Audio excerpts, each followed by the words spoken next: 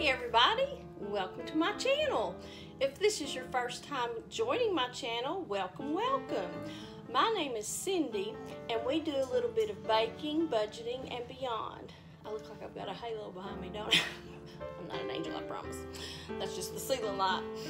Oh, we're gonna do something different tonight. Something that I've never, well, I, I've done it before, but let me tell you, I'm almost 60 years old and I'm sure I was a teenager when I did it. So and that was with my mom or my granny. So we're gonna make an angel food cake from scratch.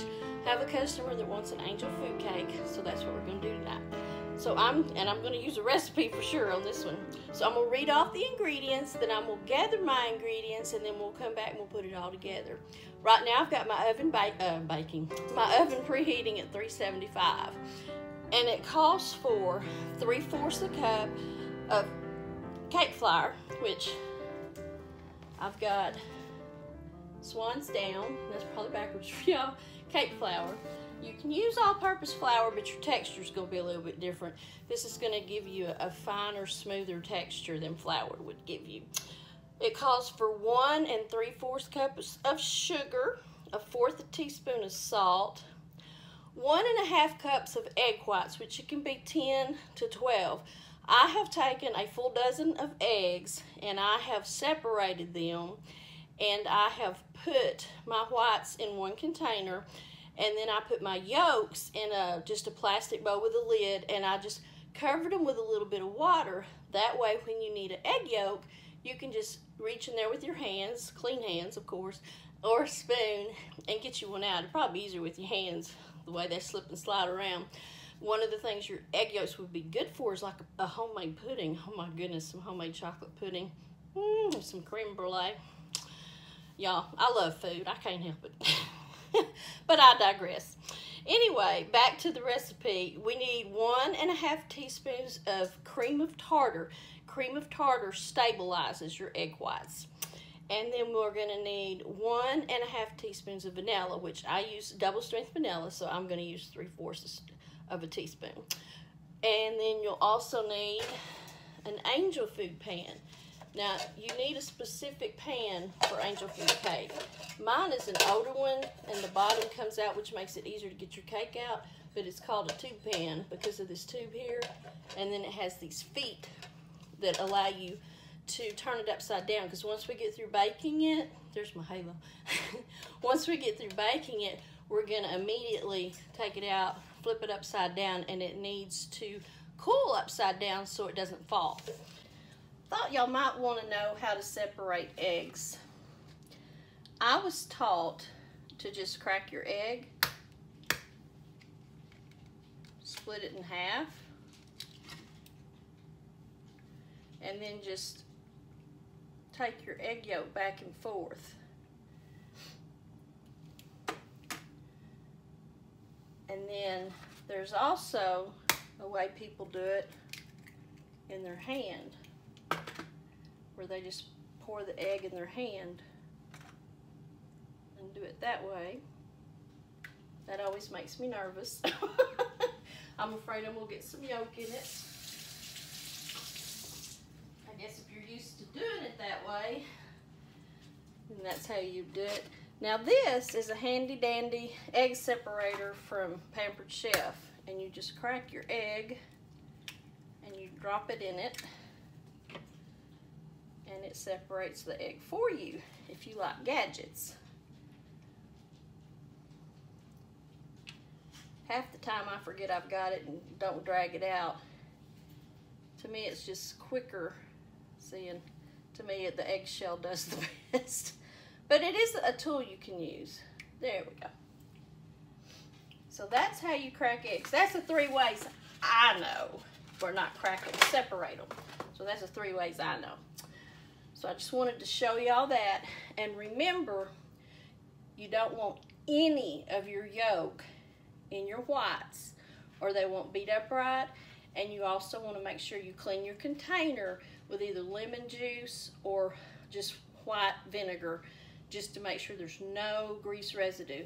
See, I used a plastic container right then. Really, you shouldn't use plastic, but I just grabbed it just to show y'all. So that is how you break or separate an egg. First direction says combine half of the sugar, flour, and salt and sift it together five times. We've got one and a half cups of sugar, so we need, I'm just gonna my bowl over here. Need about three fourths a cup of sugar. So I'm gonna take this cup and measure half of the salt. We've got a fourth of a teaspoon, so that'd be about an eighth of a teaspoon. And then our flour is three fourths of a cup. So I've got a half and a fourth. So there's a fourth. And then, oh, about half of that. And I'm just gonna take and I'm just gonna sift it on this parchment paper.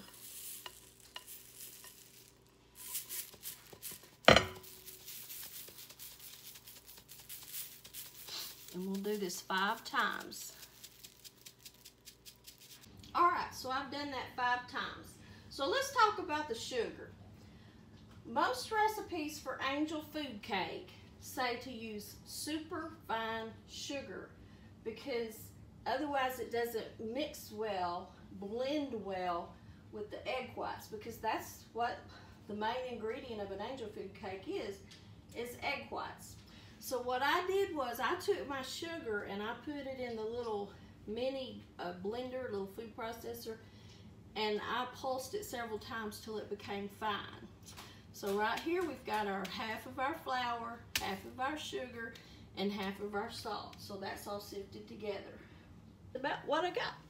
So we're gonna put this in the mixer.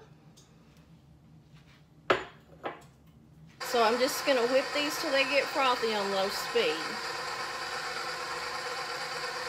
And when they get frothy, we're going to add the cream of tartar and the vanilla extract. See, it's just kind of frothy. like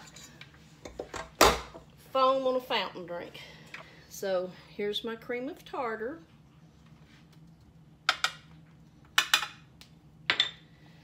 Here's my vanilla extract. We're going to increase the speed to medium and continue whipping, adding the remaining sugar one tablespoon at a time. Got our other sugar. We're going to add one tablespoon at a time. Let it get good and incorporated.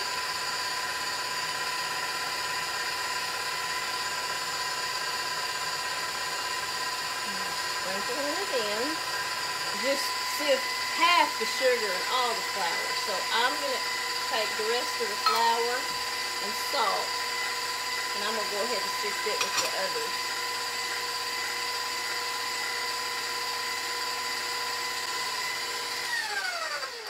And I'm going to stop this and show you. This isn't quite ready yet. It's still a little soupy.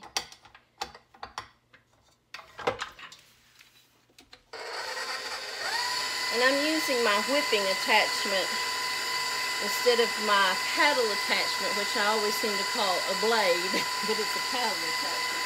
But I'm using the whipping attachment for this because it puts more air in the eggs. And after we get these to a stiff peak, we're going to mix our flour mixture in there, but we're going to fold it in, and we want to do that very gently because we want to keep all this air in the eggs that we're putting in. And that's what will make the cake light and fluffy. Like I say, you don't want to overbeat it. You just want to beat it till it comes to a stiff peak. So it's like some things are. You, you can't just walk away from it because it might happen quick. And we're going to bake this at 375 degrees for 28 to 30 minutes. They're real glossy looking. Yeah, that's a soft peak.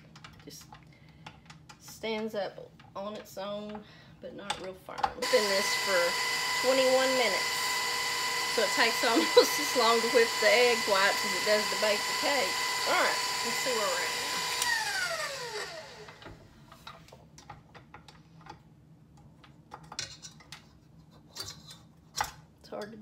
taking the bowl out. Yeah, see, see how it's just staying right there? We're going to call that stiff.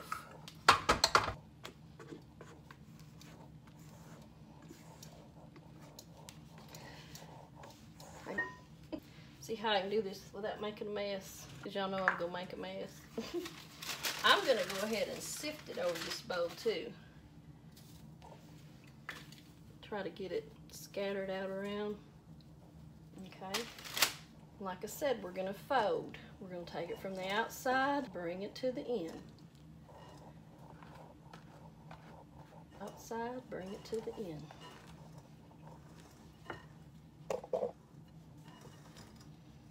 Okay. Now what we're going to do is put this in this pan. Now this is not a cake that you tap on the counter to get the air bubbles out of. This and pound cake, you don't do that. If you want to keep your air in here. But after we get it in this pan, we're going to take an offset spatula or you can use a knife, whatever you got and we're going to run it through the batter a little bit because air pockets build up under this stuff. Run it through here a couple of times. But like I said, you can use a knife. Smooth it out a little bit. Okay, y'all, it's been 28 minutes and I checked it with my toothpick and it came out clean. Get it where you can see it. Now, I'm going to invert it. Remember, that's what these little feet are for a lot of the newer pans don't have those feet. So you have to either invert it and put the tube on top of a bottle like inside a coke bottle or something or over a coke bottle depending on what you can find. Or you can turn a bowl upside down and put it on that. But we're to let it cool completely and then we're to take it out of the pan came out on its own. Ain't that something? Well Can't be sending that out of here because in all actuality, you should have to take like a spatula or a knife and go around the edges. I have to start over. Okay, y'all. So now we know what happens if you don't cook it long enough because we cut into that one or I cut into that one and it was just a little doughy still. So I redid everything. You know, I'm gonna keep it real. I redid everything just like I did before except I cooked this one for 30 minutes instead of 28.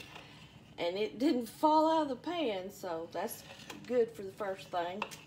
So, you're supposed to take a knife or I'm taking an offset spatula and just run it around the edge. Just to loosen it up. Y'all keep your fingers crossed. I got to deliver this at 9 o'clock. Oh, it loosened up. Run it around the tube.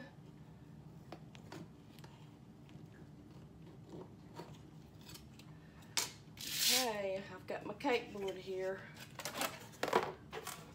Let's see if it comes out. Oh, I forgot I had the, the one that comes apart. Do the same thing under here and just hold it. You can just you can just use a knife. I just I'm just used to using these, so I just grabbed one. Oh, ta-da! Yay! We got a cake.